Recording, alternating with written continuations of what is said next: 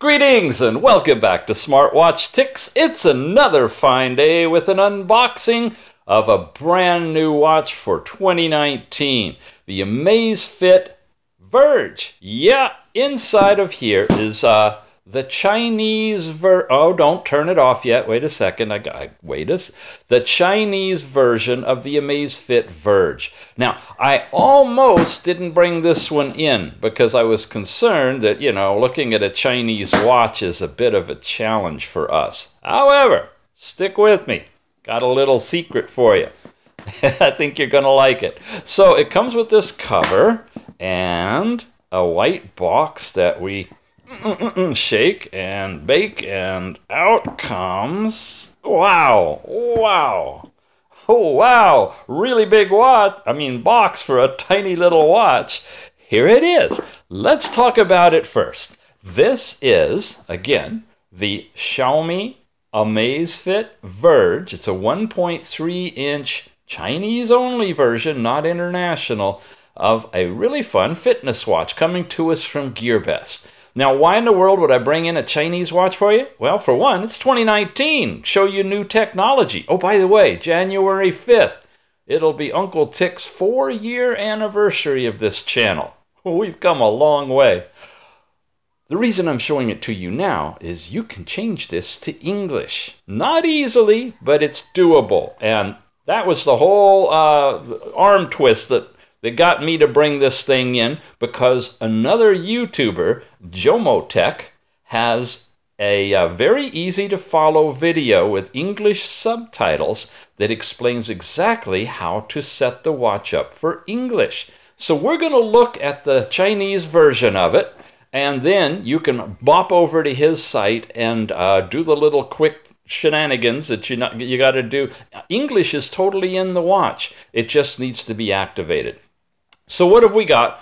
We can English tell you that it's going to have a heart rate monitor in it that'll give you real-time feedback and let you know about your heart rate anytime, anywhere. It's going to display health uh, parameters, uh, time, date, steps, distance, calories, all of those kind of things. And when you're paired to your smartphone, you can sync all of that data to either Android or iOS. Really? Mm-hmm. Are you curious about your sleep quality? Well, the sleep monitoring function in this watch will give you that answer. And you can control your smartphone to take uh, pictures right from your wrist as well. Basic stuff we've seen on a smartwatch. It's just this is that uh, Amazfit quality. So hardware wise, we've got four gigabytes of total storage and 512 megabytes of RAM. Seems like a flashback from two years ago, but remember, this is not an Android watch. This is a sports fitness watch. So you got actually quite a bit of memory to put some songs in and things like that if you want to. These are the different functions, got different alarms and health trackers. It's a 360 by 360 AMOLED screen, 1.3 inch, so it'll work for either men or women, a lot like the Amazfit Pace actually in size.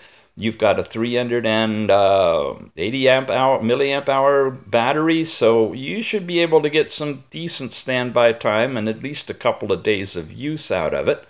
There's the dial and band, the features, the weight, and all the other information. Okay. Let's take it out and take a look. First of all, the packaging, typical Amazfit, gorgeous. You see the uh, the pattern in the white? If, yeah, you can, kind of in the reflection there. And uh, they want you to lift here and open this section, take a little box out of another box. I mean, the packaging is, is so much fun on these. Then it looks like we need to do uh, lift here Okay, we've got some compartments, one of which is, wow, is that a dock and a half or what? Wow, you could have your little bowl of soup out of this thing if it didn't have these slots. Charging pins, Amazfit written in it, hardwired in the bottom. Hmm, that's interesting. Don't quite understand that layout, but there it is. Then we've got our most likely Chinese only manual, and then the watch itself, which just pops right out of here. Okay, and that's it for the box. Let's look at the manual quickly. Uh, of course, it's in Chinese. So if you want to throw your Google Translate on it, you can uh, to see what these words mean. There's the QR uh, uh, code that you scan for the Amazfit app. Okay, let's hope there's an English version of the app out. That would be nice. There's your Bluetooth tethering information. And there's how you slap it into the charger. And they're showing to do it sideways. Here's some more information. Don't even know what the titles are. There's a overview, a chart, tables, more information. This is what we get into when we're reviewing Chinese watches on an English channel. But again, with the help of Google Translate, you can just do that with your cell phone, freeze frame the picture, uh, and it'll help um, unravel all of that stuff for you. Okay. Wow, where do we begin? I guess I, I'm going to begin by charging it. And just to show you guys, because I haven't done this before, interesting. It's like plastic. Wow, interesting. It's got a cover on it. Oh, okay. That was just markings on the screen. It wasn't on. Duh. There's the um, the bezel with little red marks across it. Uh, definitely plastic solid screen. Your heart rate monitor there, there, and your charging pins there. It looks like it looks like removable bands, doesn't it? Let's try it. It's got the little pin for it. Do I push and pull? Do I do it this way? Wow. I don't know. Not coming out. It's an odd uh, arrangement anyway. You're not going to stick standard uh, watch bands on it. There you go. That one came out. Huh, okay. There's no antenna connections in it.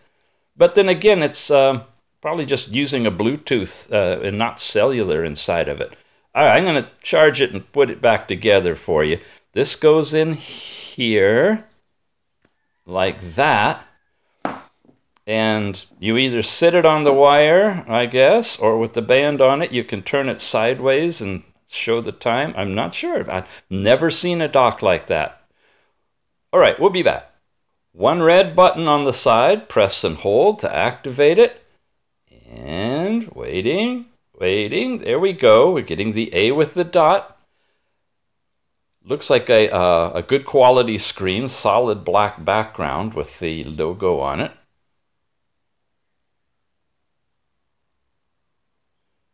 Ah, okay. Oh, how fun. That's an upgrade from their original uh, logo we've seen on the Amazfit Pace and Stratos. Oh, you'd like to see this watch next to those? Okay, once it's booted up, we'll take a quick look and compare. See what the layout's like. I can tell you right off the bat, this one is much more smart, smarty, much more sporty, uh, lightweight, uh, different design, definitely, different uh, materials. Wow. Now, this is its first boot, so it might be taking some time to unpack some things inside and get started. Usually watches boot quicker than this. So while it's booting, I'll bring over my paint roller. I guess you guys have found that a paint roller is a great way of storing your watches, right? I've got the Amazfit Pace Chinese and English version, and I've got the Stratos Chinese and English version here. You can see right off that the Stratos is a much, much bigger watch with three buttons, uh, Himongo uh, layout. It's got the um, carbon fiber body to it. It's got uh, really beefy bands. Ah, this thing's still going. So it's not a lot like the Stratos, but it's it's kind of close to the pace. So let's pull off the pace while it's still booting and show you, first of all, the dock is different. It's still a hefty dock that has to be pushed onto the back of it. Yep, still going. Um, it's got the USB connector to it on the sides. So unlike the dock for this one with a solid wire in the bottom. And look at the size differences. Um, okay, personal opinion, this is a heck of a step backwards. Really, um, this was a little bit cumbersome, you know, for, for me for this one, especially how tight it is and you have to get it aligned exactly right and there's no marks to do that. So I had a bit of a fuss with the uh, Amazfit Pace uh, dock. Uh, this one's insane. it's insane. All right, uh, still booting. Okay. See, I can fill time with anything. Let's look at the back of these. Get them oriented kind of together. Yeah, layout is different, but they're the same size overall, it looks like. This is a little more curved spaceship kind, and this has got a definitely square corners. You still booting? Yeah. Um, heart rate diode thing in the center. It's been redesigned. This had a key notch for the charging dock. You've got the curved pins uh, for both of them, four of them in different locations removable bands, not the same size. You can see this one, it cuts in, and when we took it out, it's you have to have specialized bands for this one. Uh, this is a standard size you could just interchange easily with any band on the pace, uh, which I like, I prefer a lot better. This is uh, definitely a solid metal build with really shiny edges to it. Uh, microphone on that side, same over here one button that's recessed underneath. Okay, there we go. Now we get the QR code. I'm going to leave that here for you to scan. And um, not sure which app it is, but we'll figure that out and put the uh, link to it in the show notes if it's available on the Google Play Store. And if it's like typical Amazfit, uh, we're kind of stuck until we actually tether it. Uh, you can't go anything any further forward than this. Okay, we'll be back once we get that all set up. But before we go, let's take another look at this.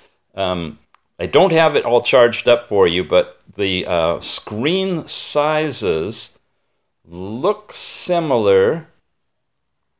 Probably same 1.3 inch. This one, when you put it on, looks like this. Okay. And this one, definitely more sporty looking thicker.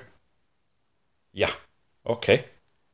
All right, let's get it hooked up. So because this is the Chinese version and not the international version of the Verge, when we scan the QR code, it brings us to this link, which will take you to this page, which is the Chinese version, it looks like, of the Amazfit Watch app. So I've gone ahead and loaded up the Google Play Store version of the Amazfit app, and that's where we are.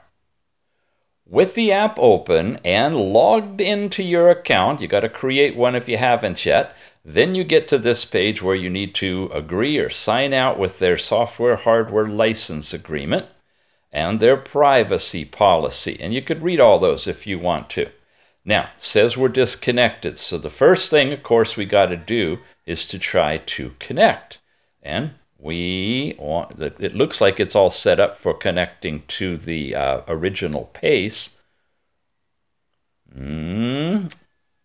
More. Unpair. Okay, let's unpair the pace. And watch isn't connected, so we want to unpair it. And now we want to try to load in a brand new one. Ah, it wants to read contacts, which I'm not doing yet and unpaired. Now we get here where we have the new Verge. Whoa, I have my brightness control on the side. Let's get that so we can see it without washing out. Uh, you had to update this app or install the brand new one in order to get this. So I'm going to select it. Uh, do I want it to take pictures? Okay. Place the code on the Amazfit watch inside the frame which is here. Couldn't scan because you see that's the QR code for uh, downloading the app. We already have the app, and this is where we get stuck. Aha! Well, I tried it again without changing anything on the watch because I can't. I can't even turn it off by holding it down. Anyway, it seems like it got that. Uh, connection, and now it's saying it wants to pair, and that's a one is a yes or a no. I'm going to guess that's a yes, and it's connecting. Okay, great. Okay, it's in the process of pairing, allowing it to read contacts. Ah, I don't want it to read my contacts. Okay. Updates are available for the watch. So right away, we've got a uh, an update, but we could skip that version. Um, although it should be updated, I guess. All right, I'm going to do an update. Update now. Synced successfully. And it's asking a question of which yes should be the answer. It just vibrated, and now it's rebooting. Yay, we are here! Oh, this is awesome. It's got SAT in English, so it's like it's Uh, is it in English? Did it switch automatically? Ah, oh, no. See, it's still in Chinese on all of the icons. So uh, you're going to need to go over and do the little magic trick to change the language inside the watch to English because it's the international version. Says we're connected. Here's the ROM information, battery. You can select one of eight different watch faces. Let's try that one. See what happens. There it is. How about that one? Okay, nice. We've got a couple of different digital ones. There we go. And then there's this one. All right, so that function's working really well. And we have different app settings that are in here that we have access to. And uh, widget settings. These are all the different widgets that you can turn on so we could see those like heart rate and sleep. Look at that, has Alipay and the transit card because this is the Chinese only one for using on the train system over there. You got your phone for tethering Set up two widgets. Oh, okay, I guess we can only do two widgets. So we've got the two widgets, sleep and heart rate in it. And I presume those are available as you scroll through here in one direction or another. When I come down, wow, okay, it's got the temperature and a variety of different other settings uh, or uh, things that you can go into. Here's your overall settings. Again, you can see they're icon driven as well as Chinese. So information and checking for updates and all those kind of things. So those are probably easy enough that you could fuss yourself through to figure them out. Here's the deeper settings. Looks like uh, maybe 12 or 24 hour mode. Again, you can put your um, translator on this. We did that in an earlier review of the pace that was crazy. Uh, or you can convert this thing to English. Here's our uh, silent mode. There's uh, airplane mode. This is, I guess, your overall volume. Yeah, and you it, we're in silent mode now, so you can change the volume there. There's your overall brightness. Oh, it was almost all the way dim. All right, let's play with it. And you can go, whoa, way bright. It's way too bloomed out. I presume this is automatic uh, brightness. Tells you what you can do with that. And now that's turned on, so you can set a threshold level. Cool, okay. Here's your watch information, power off or reboot perhaps. And then systems, we went into that. So that's at this level. Can't go that way, can't go that way. We got that way by going up like that. There's your battery charge and so forth. Now, if we go down, we get into notifications, I presume. That's the icon. Nothing left, nothing right, nothing else down. Okay, go to the left, nothing. Go to the right, and now we get into our different uh, widgets. There's the sleep time widget you saw us add, and there's the heart rate widget. And it's already got some data in here, it looks like. Um, not sure where that's coming from, but we can activate it, which should turn it on, put my finger on it, and we'll let it uh, calculate heart rate. So you see, you really can use these watches, uh, even if you don't get it set up for English, but it's going to be much more valuable if you do. Now, if you're looking for a different language than English, when you uh, watch uh, Jomo Tech's uh, review of it, be sure you check how he types in EN for English as the language that he converts to, and perhaps, perhaps you can plug in your language, and uh, if it supports it, you can put that in there as well. So, icon-wise, you can see there's your phone calling and your, your steps. Um, you've got some unique Chinese only apps in here, the music player, your file manager. This is probably going to get you in to where you can see um, how much storage you've got. I think that's what that icon is. There's an overall weather app, um, clock for your alarms and such. And basic functions. That looks like it's a compass. Yeah, we get in here and it wants to calibrate. So we loop it around. We've seen that before on the pace. There we go. And I'm sitting due north, and that's where it's pointing to. Nice, quick responsive compass in here as well. And your overall settings, and not sure what that one is. Okay, still not sure. Looks like it maybe you can um, do like a Chrome hookup to a TV set. it's going to be great when it's converted to English. But head on over, like I said, to uh, Jomo Tech. Uh, I have the link in the show notes down below for sure. Hopefully at the very end of the video, I'll have a link right up here that can take you right to the video where he explains how to set this watch up for, uh, for English and uh, we can take it from there. So it does appear that it's going to be successfully connected to the Amazfit watch uh, app as long as you update the app to include um, the new one so that you can link to it. Uh, there may be a way in the watch to convert to English or in the app to do it, but I haven't seen that as we went through here. Uh, it looks like the brute force way, um, hooking it to the computer and, and updating it, will get it to English. It's asking for a check mark there. Oh, wow, what's it doing now? Huh fun things to discover. When and if I get this thing converted to English, uh, we'll do a deeper review of it, or we'll call one in that is on the international uh, version uh, as soon as it's available. But to introduce you to this and get you started early now in 2019, we figured we'd go ahead and give you the quick look at the Chinese version. Once again, it's called the Verge. Looks like this on. It's got nice TPU band. Uh, almost a kid's toy. That's what I see it as. Very playful little thing. And it's available from our sponsor GearBest in the international version, but check to see if, I mean, in the Chinese only version, but check to see if they get an update to the international version. They'll have it there. And of course, I'll put the link in the show notes for the international version as soon as it's available. Okay, you've been watching Smartwatch Ticks. Here we go into year number four. This should be a really amazing year for smartwatches. We'll see you again soon.